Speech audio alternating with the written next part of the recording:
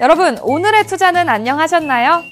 혹시 예상 밖으로 올라준 나의 비트코인에 기쁘고 막 우수수 떨어지는 알트코인에 울고 계신가요? 아니면 반대로 꾸준하고 서서히 늘어나는 수익률에 뿌듯해하고 계신가요? 내 투자 성과의 모든 것은 내가 가진 투자에 대한 가치관과 성향은 물론이고 그에 부합하는 투자 정보를 만났을 때 생겨납니다. 당연히 운도 많이 따라야겠죠? 특히 좋은 포트폴리오를 만나는 것도 한 방법이 될 텐데요. 세상의 모든 돈 되는 이야기 Catch the Money. 오늘은 코인 투자자분들 입맛에 딱 맞는 투자 포트폴리오 하나를 풀어드립니다. 변동성과 위험성 감수하고 성장주와 기술주에 몰빵하는 자산운용사 아크인베스트의 포트폴리오 지금 바로 출발합니다.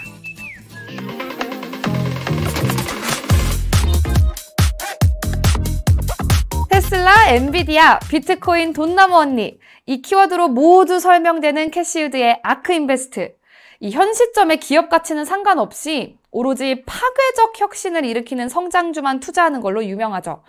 그래서 도대체 어떻게 투자를 하나 이렇게 찾아보면 뭐 rebalancing 어쩌고 저쩌고 단일 종목의 비중이 어쩌고 저쩌고 이렇게 어려운 소리만 나옵니다. 그래서 차근차근 화면을 함께 보면서 확인해 볼게요. 첫 화면부터 6월 Disruptive Innovation ETFs라면서 투자 방법을 소개하고 있고요. 조금 이렇게 스크롤해서 내려가 보면은 이 아크가 내놓은 ETF들의 개요부터 뭐 순자산 그리고 실적까지 확인해 볼 수 있습니다. 먼저 아크의 대표적인 ETF, 이노베이션 ETF. 네, 하나씩 들어가 보면요. 이렇게 살짝 아래로 스크롤해서 홀딩스. 이 holdings를 눌러 들어가 보면은 해당 ETF의 어떤 회사의 주식을 몇 퍼센트나 담고 있는지 그 포트폴리오가 확인이 가능합니다. 먼저 아크의 대표 ETF인 Innovation ETF, ticker명 ARKK는 테슬라를 9.96%, 코인베이스를 9.34% 담고 있네요. 이 투톱이 참 든든하네요. 그리고 2002년에 설립된 스트리밍 기업 로쿠의 7.69% 비중을 두고 있어요. 이 로쿠는요, OTT용 셋톱박스를 만드는 회사인데요. 코로나 시기에 사용자 수가 폭발했고, 2021년 3월부터 1년간 무려 주가가 6배 가까이 올랐던 기업입니다. 미국인 1억 명이 로크로 TV를 보고 있다는데 자체 스트리밍 서비스도 가지고 있습니다. 그 밑에는 블록이 보이네요. 이게 트위터 공동 창업자이면서 비트코인주의자인 잭 도시가 만든 모바일 결제 서비스 업체입니다. 송금 결제 주식 거래는 물론이고요. 비트코인 거래까지 가능한 앱으로 유명합니다.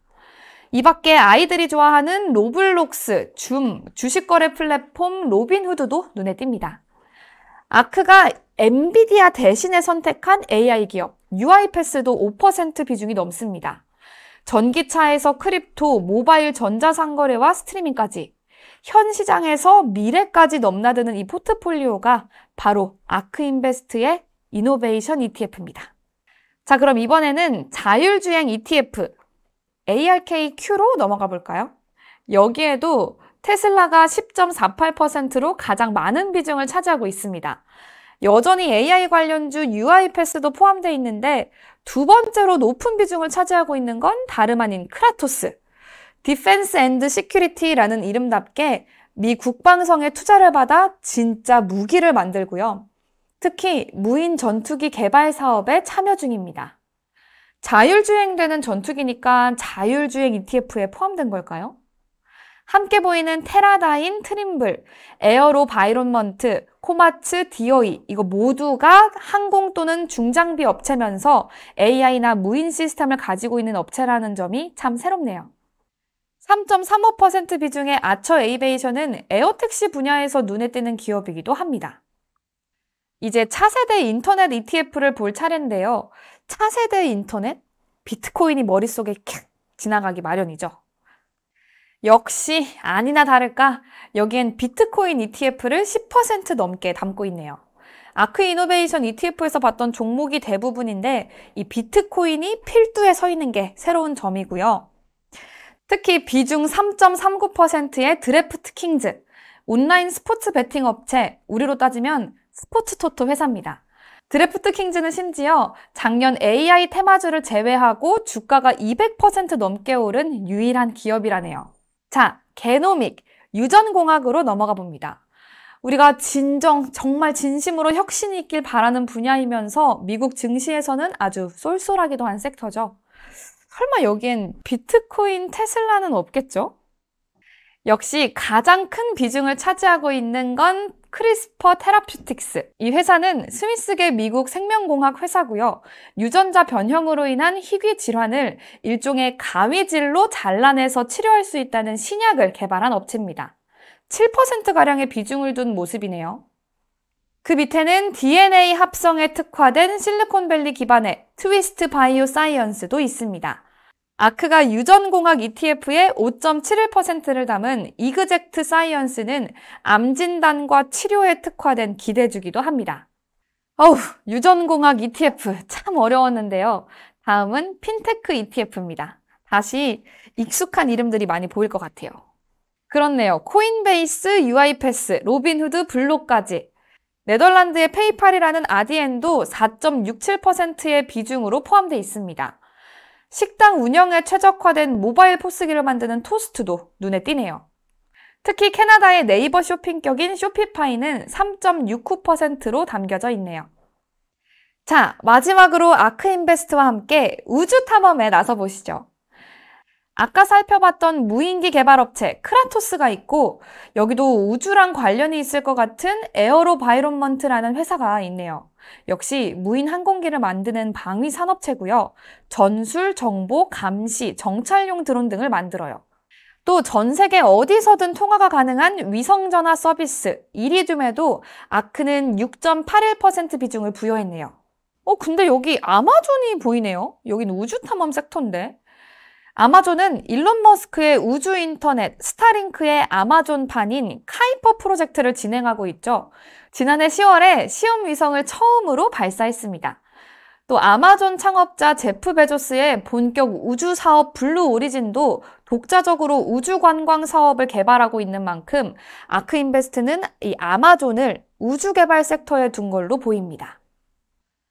자, 이렇게 해서 아크인베스트의 대표적인 active ETF 6종을 살펴봤습니다. 아크 말고 다른 기관의 운용 상황이 궁금하시다면 일종의 투자 공시 사이트를 참고하시면 되는데요. 미국 증권거래위원회 SEC에 들어가서 직접 찾아보거나 웨일 위즈덤 또는 투자 공시를 찾아보시면 쉽습니다. 1억 달러 이상 자금을 운용하는 기관들은 이 분기 마감 이후 45일 안에 보유하고 있는 포트폴리오를 SEC에 제출해야 하는데요. 여기 사이트에 들어가서 검색창에 원하는 기관을 검색하면요. 뭘 가장 많이 샀는지, 팔았는지, 또 어떤 종목을 가장 많이 보유하고 있는지 등등 모두 다 확인할 수 있습니다. 다만 이게 지난 분기 기준이라는 점을 꼭꼭 기억하셔야 합니다. 자, 이쯤에서 우리 아크인베스트 이야기로 돌아가 볼까요? 캐시우드의 애착 인형, 테슬라의 동태를 좀 살펴볼까 합니다. 캐시우드는 지난 1월 말 테슬라의 주가가 4분기 실적 발표 후 12% 이상 급락하니까 약 3,200만 달러, 우리 돈으로 428억 원이 넘는 돈을 들여서 매수에 나섰습니다. 아크이노베이션 ETF에도 15만 주 가까이 추가했어요. 아크 자율주행과 로봇 ETF에도 거의 3만 주를 더했고요. 2월 중순에는요, 코인베이스와 로빈후드 주식을 팔아치우고 엔비디아도 팔아치우고 테슬라를 또, 또, 또 14만 주 넘게 2,740만 달러어치를 샀습니다. 3월 중순에도 21만 6,682주를, 4월 초에는 3,900만 달러, 542억이 넘는 테슬라 주식을 매수했죠. 연쇄 할인에는 저점 매수가 답이다! 이건가요? 캐시우드는 이 테슬라는 아직 포기할 때가 아니다. 5년 안에 2,000달러를 돌파할 것이다 라고 예상했습니다. 캐시우드가 저 말을 한 시점에 테슬라 주가는 168.38달러였거든요. 근데 이게 2,000달러를 돌파하려면 1,090%가 폭등해야 해요. 뭐 그래도 한때는 목표가 5,000달러를 제시했던 과거에 비해서는 조금 현실적으로 바뀐 것 같기도 합니다. 사실 요즘 테슬라 주식 보유하고 계신 분들은 정말 힘들지도 모르겠어요. 이 캐시우드 같이 무지성으로 저점 매수! 이렇게 외치는 유명 강세론자도 있고요. 테슬라 주가는 14달러면 적절하다면서 파산각도 보인다라는 약세론자도 있어서 평가가 좀 극단적인 건 사실입니다. 현실적으로 접근하자면 지난 1분기 테슬라 차량 인도 실적에서 역시 모델 3와 모델 Y가 대부분을 차지했는데요. 글로벌 전기차의 수요가 감소하고 있는 데다가 중국 등의 경쟁사 품질은 점점 좋아지고요. 여기에 2025년까지 새로운 모델 출시가 불투명하다라는 점이 약세론에 불을 지핀 거죠.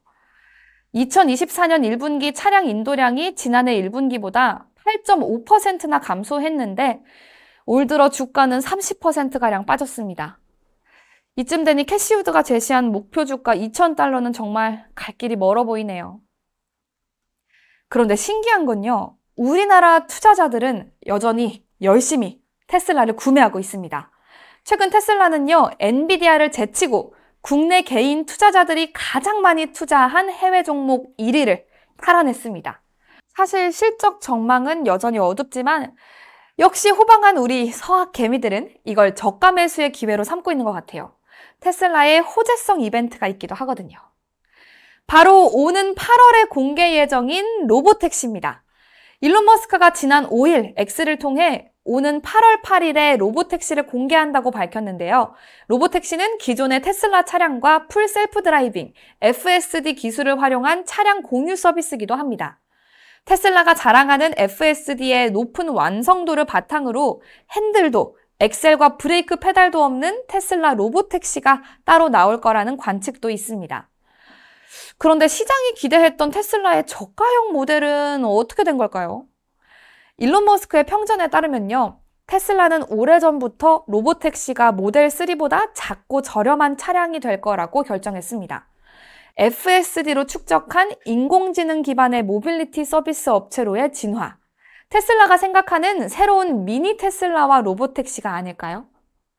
캐시우드는 테슬라의 로보택시가 출시되면 2030년까지 최대 10조 달러의 매출이 가능할 거다라고 예상했는데요. 단순히 전기차 제조사에서 another level의 모빌리티 서비스가 될 거라는 건 확실하죠. 지금 테슬라는 이런 큰 거 한 방이 필요하기도 합니다. 말 그대로 무에서 유를 창조하면서 로봇과 로보택시, 인공지능 기업으로 바뀌고 있는 테슬라. 그리고 그 테슬라를 쉬지 않고 주워 담아서 포트폴리오를 마구마구 늘리고 있는 캐시우드. 오늘 이 영상을 함께 하신 여러분, 새로운 투자의 방향성까지 챙겨가시면 좋겠네요. 오늘의 캐치더 원인은 여기까지입니다. 마음에 드셨다면 구독과 좋아요 한 번씩 부탁드릴게요. 다음에 또 만나요. 안녕!